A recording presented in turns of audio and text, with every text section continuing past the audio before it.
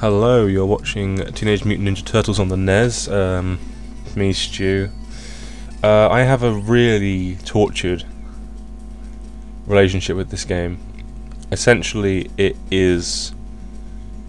A, well, it's a 2D platform game where you can play as each of the turtles, uh, and they all have different weapons. I'm not sure if they have different skills so much, but their weapons are useful. Uh, pretty much Leo, if I recall correctly, Leo and Don are the only ones with weapons that are even remotely acceptable in actual combat. As you can see, I'm awful at this.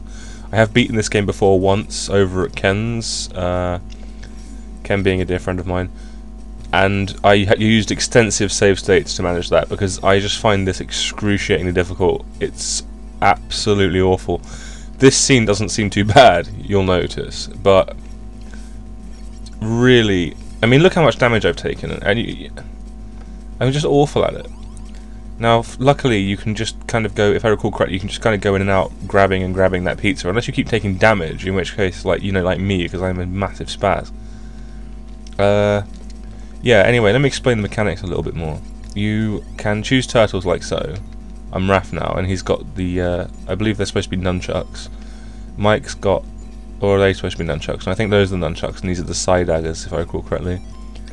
Don has this useful weapon, which stretches almost half the screen, which is extremely useful. Uh, so you need to sort of save him. Um, and you go around this overworld, being suddenly killed by a massive steamroller thing, which thankfully hasn't shown up yet.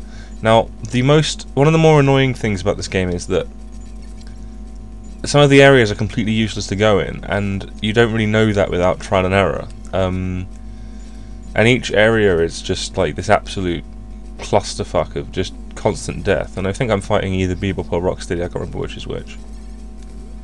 Thankfully this this guy isn't too hard. Basically, this game is insanely difficult, I think, considering that it's ostensibly aimed at kids. Um, kids, I, I mean, yeah, when you're young you have more of a tolerance for annoying as fuck piece of shit games like this, but this is just brutal. I mean, I can't imagine a child finishing this. I mean, I could only finish it cheating. It's the only way. Uh, and I'm pretty good at platform games, I have to say. If you go in here, there's a whole pizza, but it's not really worth it with the health I have. Uh, so I'll keep going. I'm only going to do uh, a bit of this game instantly because it just makes me so angry. Uh, Ken will tell you, if not that you'll ever speak to him, um, unless you're like already his friend.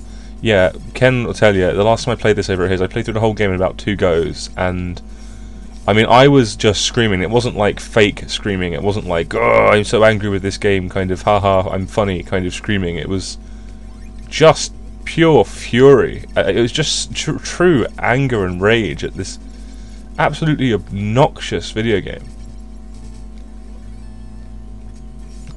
Is that it? Oh, I see. So this is one of those completely useless areas. That's really cool. That's really fun. Almost lost the turtle. Leo, one of the... Yep, there he goes. Bye, Leo. That was one of the decent turtles, so now I have to switch to Don. Not going back in there. Oh god, there's that thing. Ah, see, now this this would have been useful if I just come here. I could have healed up by collecting that pizza repeatedly. Uh, now, see, now this, after this, this this isn't a patch, in difficulty-wise, on the rest of the game. After this, you eventually have to do this swimming level. We have to defuse bombs by swimming through coral, which kills you, and let's just say the, the, the room for error is astonishingly tight, and the time limit really adds to that. It's really, really hard, and that was, to me, I, I was furious with that. I just could not believe that passed as decent design. And then, of course, it got worse. There's several more levels after that. Uh, the last level has a section where you're going along a thin corridor with these flying enemies, and I, unless you've just got full health and you just kind of choose your way through it, I cannot see how that is doable without memorizing every aspect of the game, uh, all of its, just how everything works. And this is the end of level 1 if I kill this guy, which I probably will fail to do.